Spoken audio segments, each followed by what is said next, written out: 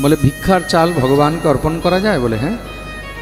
যদি আপনার কাছে সামর্থ্য নেই, আপনি ভিক্ষা করে নিজের উদরপূর্তি করছেন, সেই ভিক্ষার বস্তু ও গোবিন্দকে অর্পণ করেই তারপরে খাওয়া উচিত। কিন্তু ভিক্ষার বস্তু কখনো ক্রয় করিতে নেই, কিনতে ভিক্ষার চাল কখনো কিনতে নেই। প্রেম সে বলো হ্যাঁ। ভিক্ষার চাল কিনলে কি হয়? বলে, ঘরের মধ্যে দরিদ্রতা আসে। কি আসে? দরিদ্রতা। কেউ কাউকে ভিক্ষা দিয়েছে কিসের জন্য? তার উদর পূর্তির জন্য। সে যদি সেই বস্তুকে বিক্রয় করে, মনে রাখবে তার মধ্যেও দোষ হয় আর যে কিনে তাকেও দোষ গ্রহণ করতে হয়। আপনি যা খাচ্ছেন, সেটা গোবিন্দকে অর্পণ করেই গ্রহণ করা উচিত। শাস্ত্রে বর্ণন রয়েছে, ভগবানকে অর্পণ না করে যেই বস্তু গ্রহণ করা হয়, সেটাকে চুরি বলা হয়। কি বলা হয়েছে? জোরে বলো। কেন ভগবত প্রদত্ত এই সংসারে সমস্ত বস্তু আমরা গ্রহণ করছি? তা ভগবানের জিনিস, ভগবানকে আগে অর্পণ করা উচিত। ভগবানকে অর্পণ না করলে সেটাকে তখন চুরি বলা হয়েছে। তাই জন্য অনেকে জিজ্ঞাসা করে, মহারাজজি, এটা কেন খেতে নেই, ওইটা কেন খেতে নেই? যেরকম বলে না, মুসুরির ডাল খেতে নেই, পেঁয়াজ, রসুন কেন খেতে নেই? এগুলো তো কোনো জীব হত্যা নয়। অনেকে অনেক প্রকারের প্রশ্ন থাকে তো। পেঁয়াজ রসুন তো কোনো জীব নয়, জন্তু নয়, চলেন আমিষের মধ্যে মাছ, মাংস এগুলো আমরা হ্যাঁ ভেবে নিলাম জীব হত্যা হলো, পশু হত্যা হলো, কিন্তু এগুলো তো শাকসবজি তার মধ্যে এগুলো কেন খেতে নেই? দেখুন, পেঁয়াজ, রসুন, মুসুরির ডাল ইত্যাদিগুলো কেন খেতে নেই? কেন কি এগুলো গোবিন্দের ভোগের কখনো অর্পণ করা হয় না? এগুলো হরি বা গোবিন্দের ভোগে নিষেধ বলা হয়েছে। আর যেই বস্তু গোবিন্দকে অর্পণ করা যায় না সেটা গোবিন্দের ভক্তদেরকেও গ্রহণ করা উচিত। নয়, আমাদের ঠাকুর যেটা খায় না, সেটা আমরা কেন খাব? প্রেমসে বলো। এটা হলো বৈষ্ণব আচরণ। এটা কি? বৈষ্ণব আচরণ, সদাচার। তার জন্য দেখবে যারা সন্ন্যাসী, সন্ন্যাসীরা দেখবে অনেক সময় পেঁয়াজ, রসুন ইত্যাদি খায়। আপনারা দেখবেন পেঁয়াজ, রসুন খায়। যেরকম অনেক জায়গায় আছে যেখানে পেঁয়াজ, রসুন, মুসুরির ডাল ইত্যাদি এগুলো খাওয়া হয়। আমি আর জানতাম না, কিন্তু আমি একবার দিল্লি ভারত সেবাশ্রম সঙ্গে গেছি, আর সেখানে ভারত সেবাশ্রমে যখন গেছি, আমি তো জানি মন্দির ওখানে প্রসাদ পাওয়া হবে। আমি প্রসাদ পেতে বসেছি, প্রসাদের বুকিং করেছি, তা ওখানে দেখলাম ডালের মধ্যে মুসুরির ডাল রান্না হয়েছে। তা আমি স্বামীজিকে বললাম, মহারাজি আপনারা মুসুরির ডাল খান? বলে হ্যাঁ পণ্ডিতজি, আমরা খাই। আমি বললাম, মুসুরির ডাল তো খাওয়া নিষেধ। বলে, দেখুন, ওইগুলো আপনাদের বৈষ্ণবদের নিষেধ। আমাদের সন্ন্যাসীদের মধ্যে এগুলো নিষেধ নেই। আমি বুঝে গেলাম বিষয়টা। তার জন্য যেখানে নিষেধ নেই সেখানে খাওয়া যেতে পারে, কিন্তু যারা বৈষ্ণব, বৈষ্ণবদেরকে গ্রহণ করা উচিত, হয়, কেন? যেটা ভগবান নারায়ণকে নৈবেদ্য অর্পণ করা যায় না, সেটা কখনো বিষ্ণু ভক্ত নিজে গ্রহণ করেন না। প্রেম সে বলো তা এই প্রকার আমাদের হিন্দু ধর্মের মধ্যে অনেক সম্প্রদায় আছে যেখানে এইসব বস্তুগুলো খায়। কিন্তু তা বলে বৈষ্ণবদেরকে কখনো এইসব বস্তু গ্রহণ করিতে নেই। দেখুন, আমি প্রথম দিনই পাঠে একটা কথা বলেছিলাম, যত মত তত পথ। রামকৃষ্ণ পরমহংস বলে গেছেন না? তার জন্য আমি যেটা করব না, সেটা যেন কেউ না করে এরকম কাউকে বাধ্য করা উচিত নয়। হ্যাঁ আমি বৈষ্ণব, আমি আপনাদেরকে বৈষ্ণবতার কথা বলতে পারি। বৈষ্ণবের আচরণীয় কি? বৈষ্ণবের করণীয় কি? এই কথা আমি আপনাদেরকে বলতে পারি। বৈষ্ণব কি করবে? খুব মন দিয়ে শুনবে, বৈষ্ণবের আচরণ কেমন হওয়া উচিত? বৈষ্ণবের আচরণ হবে শান্ত। বৈষ্ণবের আচরণ হবে শান্ত। শান্ত বলতে কি কেউ যদি গলা কেটে দেয়, তাহলে গলা কাটিয়ে নেবে? বলে, না না না। অহিংসা পরমো ধর্ম, হিংসা ধর্ম তথই বচ বৈষ্ণবের আচরণ শান্ত বলতে প্রত্যেক কথায় কথায় যেন উগ্র না হয়। সবসময় সবার সঙ্গে তর্ক করতে নেই। নিজের এনার্জি নিজের ঊর্জাকে সবসময় বাঁচিয়ে রাখো। কিসের জন্য? ভগবত সেবার জন্য। তুমি যদি দেখো যে কেউ তোমার সঙ্গে বৈষ্ণবতা নিয়ে তর্ক করছে, ভগবত সেবা ইত্যাদি নিয়ে তর্ক করছে। সেখান থেকে তুমি দূরে সরে যাও। প্রকৃত যে ভগবত ভক্ত হবে, যাকে শাস্ত্র গ্রন্থের জ্ঞান আছে, সে কখনো এসব বস্তু নিয়ে তর্ক করবে না। এসব জিনিস থেকে সে সাবধান থাকবে, দূরে থাকবে। তো বৈষ্ণবের আচরণ হলো শান্ত। যার তার সঙ্গে তর্ক করে নিজের এনার্জি নষ্ট করতে নেই। কেন? তর্ক করলে কি হয়? তর্ক করলে নিজের এনার্জিও নেগেটিভ হয়ে যায়। এনার্জি নেগেটিভ হয়ে যায়। কার সঙ্গে তুমি অনেকক্ষণ ধরে কথা বলছো? সে যদি উল্টো পাল্টা বলে, তখন তুমি উল্টো পাল্টা বলবে। বলবে তো? তুমিও না বলে থাকতে পারবে না। তার জন্য বৈষ্ণবকে বলা হয়েছে, শান্ত থাকবে ধৈর্য রাখবে ক্ষমা। আর কি? ক্ষমা। কেউ অপরাধও করেছে, অপরাধ করে তোমার কাছে ক্ষমা চেয়ে নেয়, সঙ্গে সঙ্গে তাকে ক্ষমা করবে। এটা হলো বৈষ্ণবের লক্ষণ। আর বৈষ্ণব একমাত্র শ্রী হরিরই পুজো করবে। কার পুজো করবে? ধরে বলো, শ্রী হরি। তা বৈষ্ণবদেরকে কি মা, দুর্গা, শিব, কালী তাদের পুজো করতে নেই? বলে তাদের পুজো করলে কোনো দোষ নেই, কিন্তু উপাস্য ইষ্ট হলো একমাত্র শ্রী হরি। যেরকম, আমার কাছে একজন একটা ভিডিও পাঠিয়েছে। ভিডিওর মধ্যে ওইখানে কোনো একজন বৈষ্ণব, আমি নাম নিচ্ছি না, এক বড় সংস্থার কোনো বৈষ্ণব বলছেন যে যারা শিব, দুর্গা, কালী এদের পুজো করে, ওরা হলো মূর্খ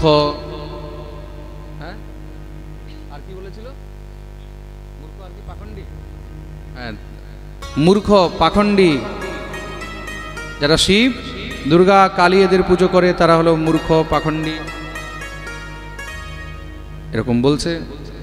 আমার কাছে প্রশ্ন পাঠিয়েছে বলে মহারাজজি, দেখুন, এরকম এরকম বলছে। আর এনারা বৈষ্ণব, অনেক বড় সংস্থার লোক। এটা কি সত্য?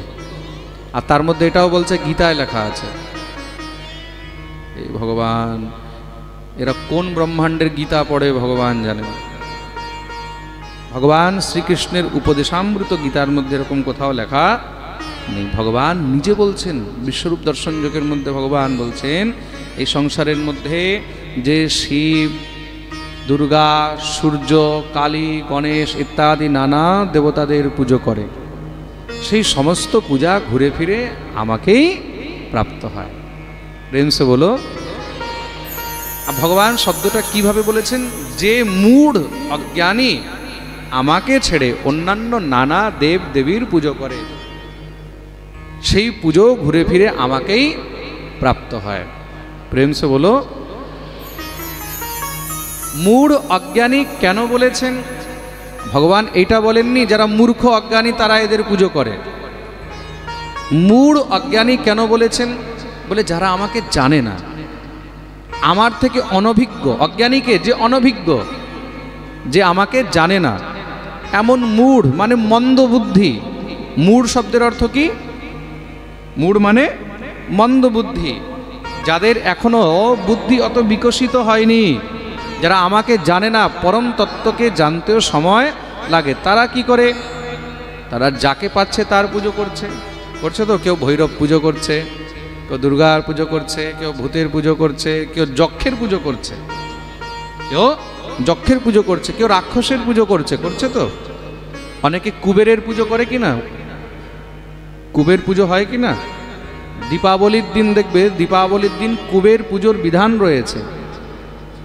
যারা বস্য হয়, যারা দোকানদার হয়, দীপাবলির দিন কুবের পুজো করলে দোকানের মধ্যে কোনো সময় দোকানের ভান্ডার খালি হয় না ইনকাম বাড়তে থাকে। তা কুবেরকে যক্ষরাক্ষসান যক্ষ। আর রাক্ষসদের প্রধান হলেন কুবের। ভগবান গীতায় বলছেন যে, রাক্ষসদের মধ্যে আর যক্ষদের মধ্যে আমি হলাম কুবের। বলছেন কি না? ভগবান যদি নিজে কুবের হয়, তা মানুষ তো কুবেরের পুজো করছে। করছে কি না? ভগবান বলছে দৈত্যানাম প্রহ্লাদ অস্মি, দত্তদের মধ্যে আমি হলাম প্রহ্লাদ। তুমি কি করে বলতে পারো যে শিবের পুজো করে, দুর্গার পুজো করে, কালীর পুজো করে, তারা মূর্খ, অজ্ঞানী? না না না। এরকম কখনো ভগবান বলেননি। পূজা তুমি জারি করো, ঘুরে ফিরে সব যাচ্ছে কোথায়? গোবিন্দের কাছে যাচ্ছে। কেন ভগবান বলছে, অহম সর্বভূতা নাম আমি তো সব কিছু শিব আমি, দুর্গাও আমি, ব্রহ্মাও আমি ইন্দ্রও আমি, চন্দ্র আমি, বরুণও আমি, কালীও আমি। এ সংসারের মধ্যে সব কিছু আমিই তো। গণেশও আমি সব কিছু আমি। অর্জুন বললেন, প্রভু, আমি কি করে মানব যে আপনি সবকিছু? বলে, তাহলে দেখ প্রভু, আমি তো কিছু দেখতে পাচ্ছি না। বলে চোখ দিয়ে দেখতে পাবি না। আমি তোকে সেই দিব্য দৃষ্টি দেখছি এই দিব্য দৃষ্টিতেই তুই একমাত্র দেখতে পাবি। আমার এই রূপ অন্য কেউ দেখতে পাবে না। ভগবান বললেন, এবার তাকাও উপরের দিকে। ভগবান যখনই বলেছেন, অর্জুন তাকিয়েছে। দিব্য দৃষ্টি দিতেই সেই বিরাট রূপ ভগবান দর্শন যেটাকে বিশ্বরূপ বলা হয়। হাজার হাজার হাত, হাজার হাজার মাথা। এক মাথা হনুমান, এক গণেশ, এক দুর্গা, এক শিব, এক কালী, এক বরুণ, এক ইন্দ্র, এক চন্দ্র, এক অগ্নি, এক বায়ু। সব সেই গোবিন্দের মধ্যে। ভগবান বললেন, তুমি যারই পুজো করো না কেন, সব ঘুরে ফিরে আমার কাছেই আসবে। প্রাপ্য এই সংসারের ভোক্তা হলাম আমি। ভোক্তাকে ভোক্তা হলেন স্বয়ং ভগবান। যার যার প্রতি রুচি আছে, যার যেখানে মত, সে সেখানে সেই নিয়ম অনুসারে ভগবানের পুজো, সেই দেবতার পুজো করতে পারে। তাকে বাধা দেওয়ার এটা কিন্তু কোনো বিষয় নয়, এটা কোনো রাস্তা নয়, এটা কোনো সিস্টেম নয়। হ্যাঁ আমি বৈষ্ণব, আমি বৈষ্ণবতার প্রচার করতে পারি। বৈষ্ণবতার আচরণ সেটা আপনাদেরকে বল বৈষ্ণব একমাত্র নারায়ণের পুজো করে। বৈষ্ণবের মূল উপাস্যকে নারায়ণ। নারায়ণ মানে কৃষ্ণ বা রাম, যেগুলো বিষ্ণু বিগ্রহ। বিষ্ণু জানাতি ইতি বৈষ্ণব। যিনি নারায়ণকে জানেন, বিষ্ণুকে জানেন, গোবিন্দকে জানেন, কৃষ্ণকে জানেন।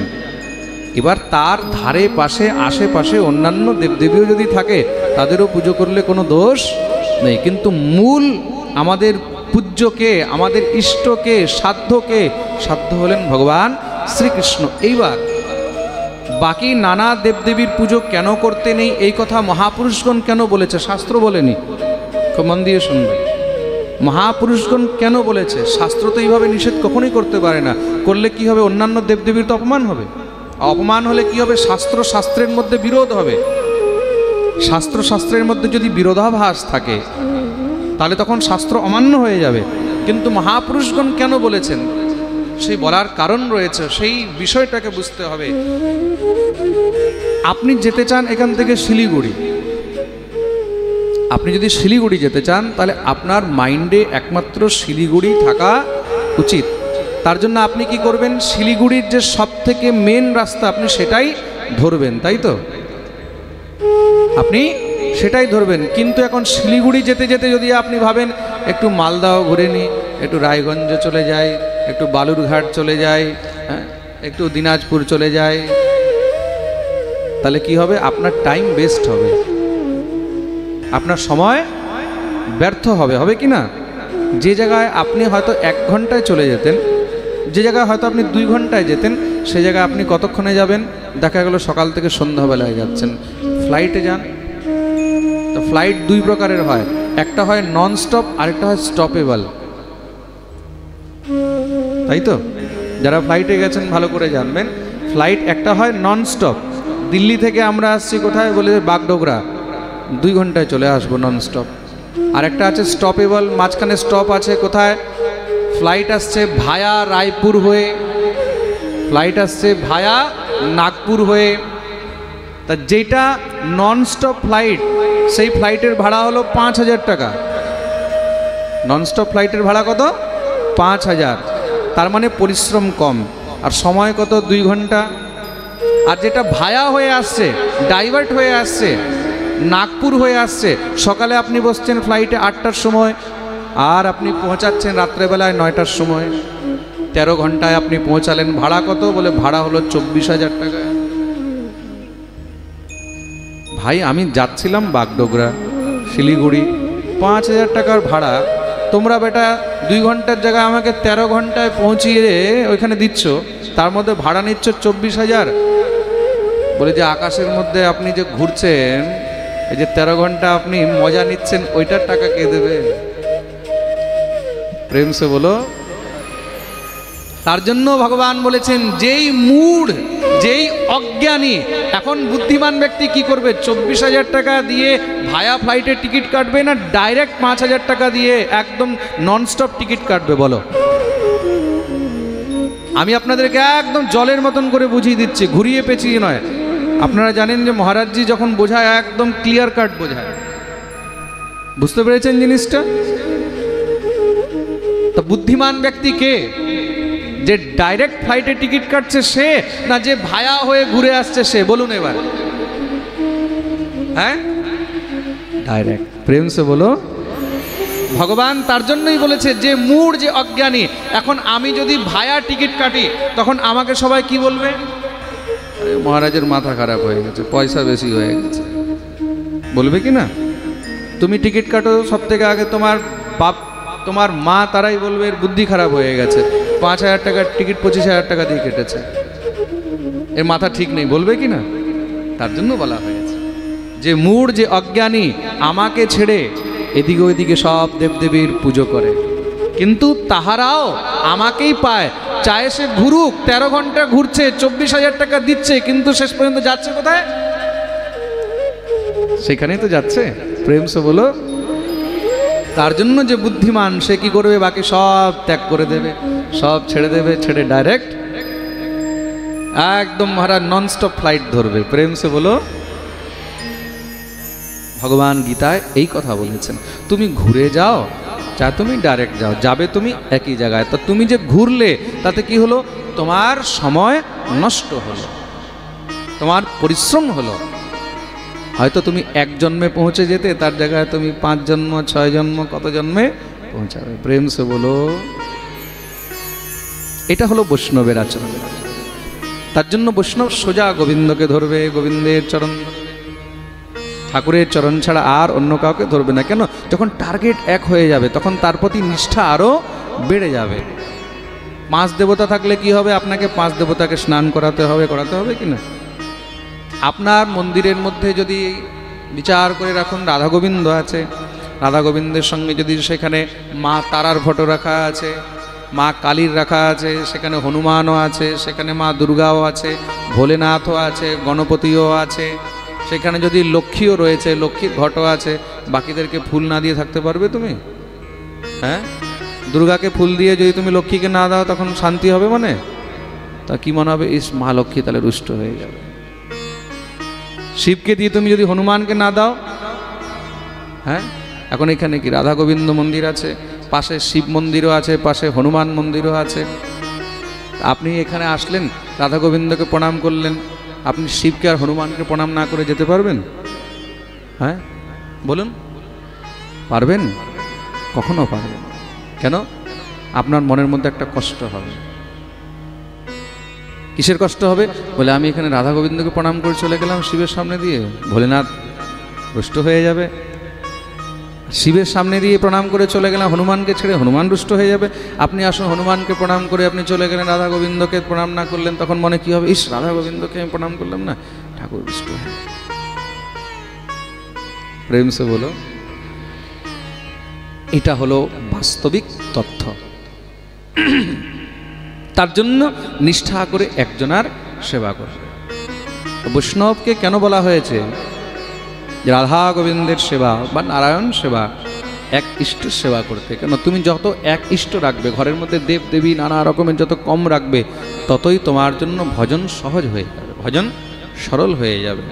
ভগবানের যত তুমি ভজন একদম সহজভাবে করবে, নির্মলভাবে করবে, মনের মধ্যে যত চিন্তা কম থাকবে এই দিক ওই দিকের বিষয় যত কম আসবে ততই তুমি আরও আনন্দে ভজনে বসতে প্রেমস বলো